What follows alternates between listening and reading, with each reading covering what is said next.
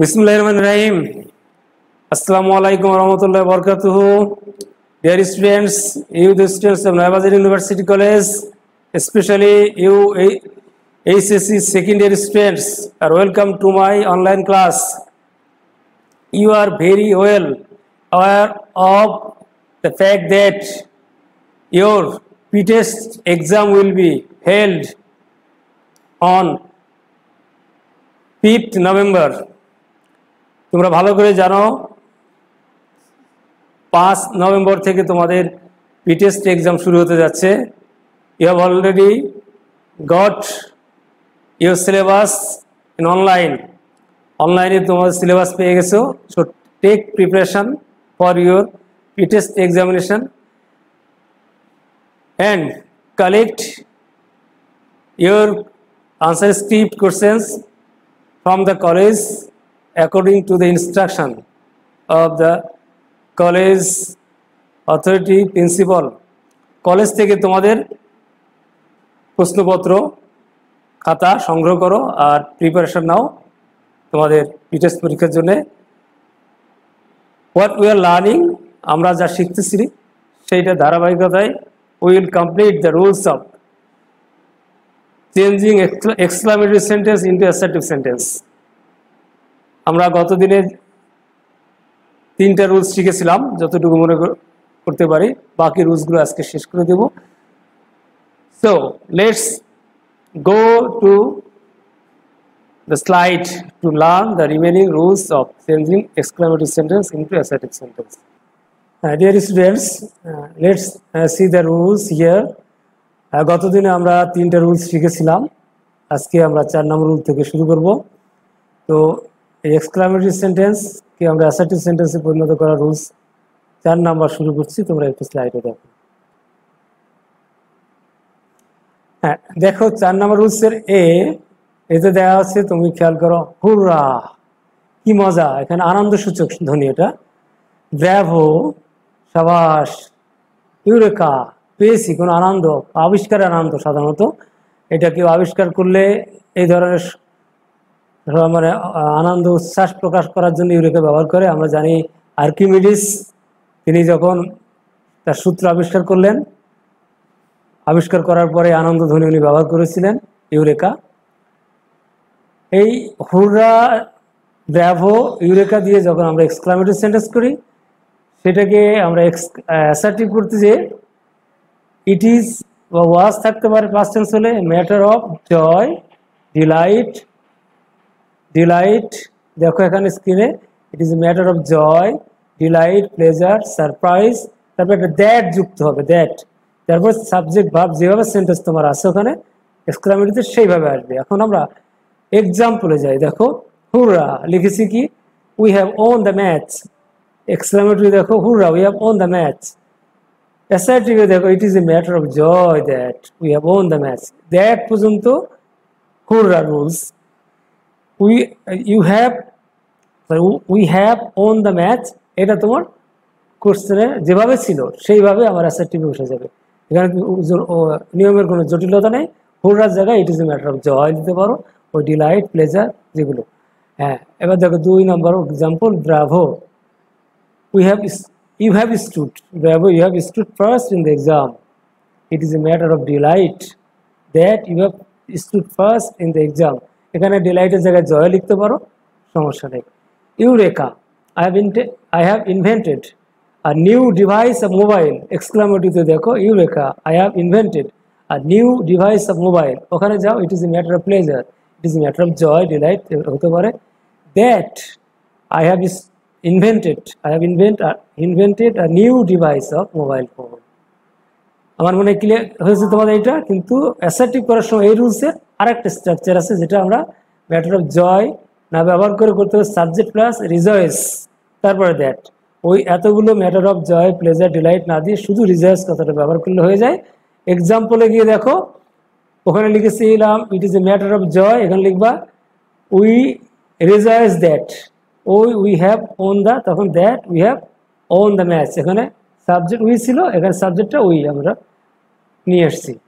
এখন ক্লিয়ার হয়েছে আমার মনে হয় তোমাদের এটা রিজার্ভ দিয়ে। রিজয়েস যদি তোমার অ্যাসার্টিভ সেন্টেন্সে থাকে, তাহলে এক্সক্লামেটরি করার সময় তোমার এই হুররা বা যদি ব্রাভো বুঝায়, এই ধরনের শব্দ দিয়ে তোমার এক্সক্লামেটরি করতে হবে। হ্যাঁ dear students see here another rose here alas দুঃখ প্রকাশ করা হাই হাই রে কোনো কষ্ট, দুঃখ প্রকাশ করার জন্য। তারপর সাবজেক্ট ভার্ব যেভাবে থাকে সেটাই।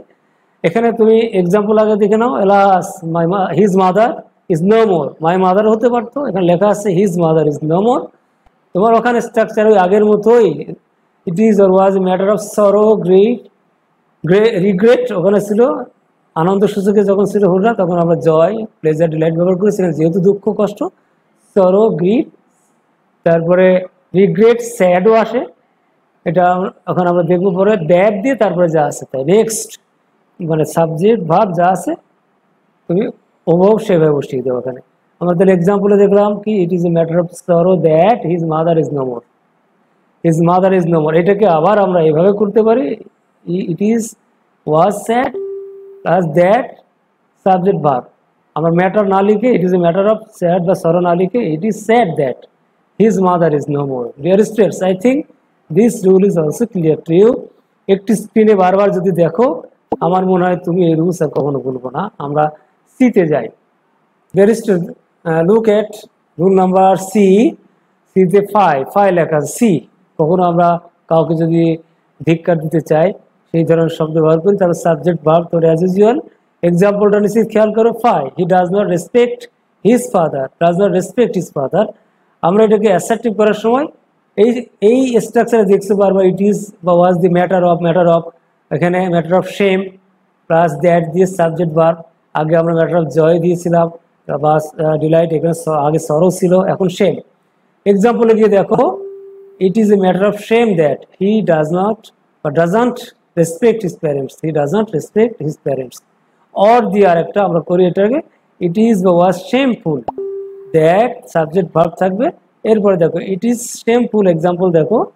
See the air it is shameful that he does not বা doesn't respect his parents dear students আমি মনে করি এই রুলসগুলো তোমার কাছে অনেক ক্লিয়ার হয়ে গেছে। নেক্সট রুল আমরা চলে যাই। Next rule dear students now rule number uh, D here the word is here hush চুপ চুপ থাকার কথা বলা হয়। কেউ যদি আসে কোনো কারণে চুপ থাকতে হয় সেই কারণে এই শব্দ ব্যবহার করি। স্টার্ট হয় স্ট্রাকচারটা হিয়ার অথবা দিয়ার দিয়ে তারপরে প্রেজেন্ট ভার ভি ওয়ান সাবজেক্ট এক্সাম্পলে যাও। Here comes the principal keep quiet দেখো এখানে কিপ কোয়াইট আছে। হাস এর পরিবর্তে সাবজেক্ট এখানে ভি ওয়ান আইনজের আগে আমাদের ইজ বা আর হতে পারে। কন্টিনিউয়াস টেন্স হবে মূলত। ওখানে ইনডেফিনিট ছিল, এখানে কন্টিনিউয়াস টেন্স হবে।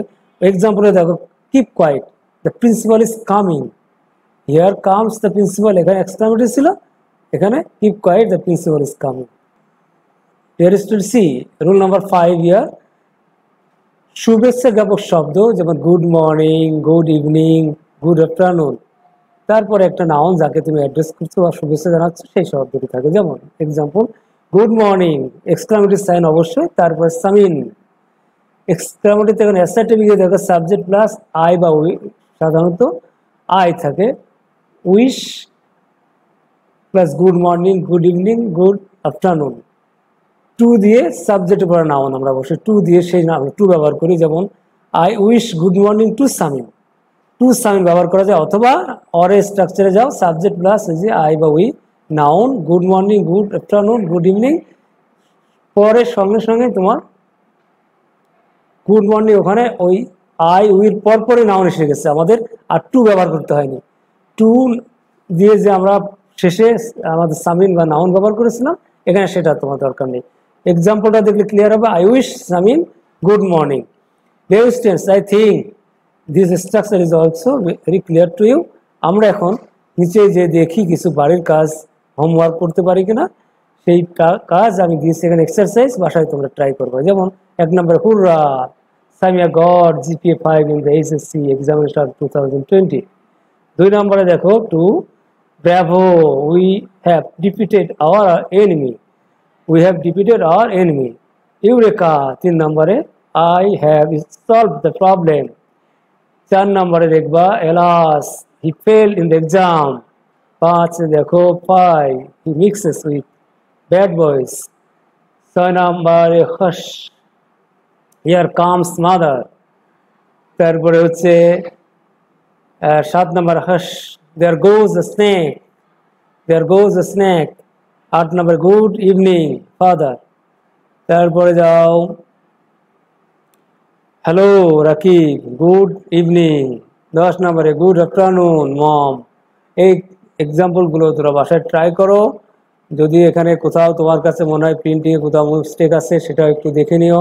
আমরা চেষ্টা করেছি যতটুকু নির্ভুল প্রিন্ট দিয়ে তোমাদের পড়ানো যায়। আর যাওয়ার আগেই বলি, শেষ করার আগেই your pretest exam is knocking at the door take preparation for your pretest exam stay home.